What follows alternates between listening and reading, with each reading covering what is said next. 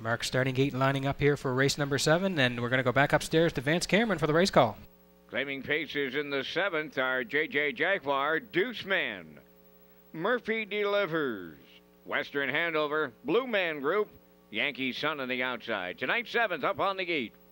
Top of the stretch. Approaching a start.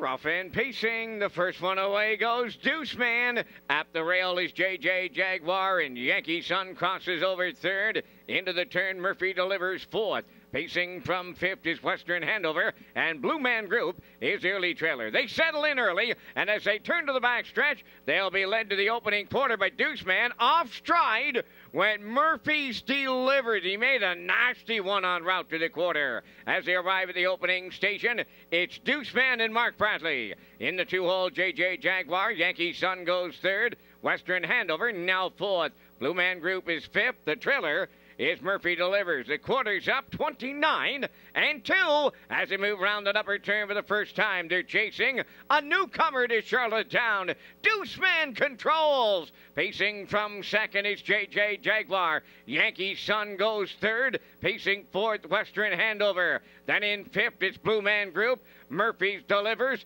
In the backfield, the trailer halfway home, uncontested on the lead. That's Deuce Man.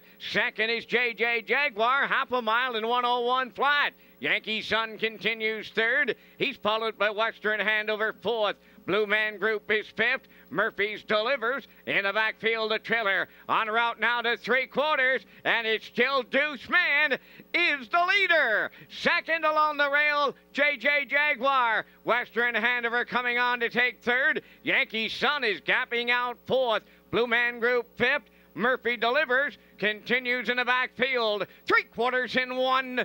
31 and 1 going to the 7 8. Still, it's Deuce Man here for Bradley, and he's homeward bound. All out in the two hole is JJ Jaguar. Western Handover third. Yankee Sun fourth, and Blue Man Group. It'll be back to back winners for Mark Bradley. Deuce Man goes all the way. Western Handover second. Yankee Sun will finish third. 2 1 and 3.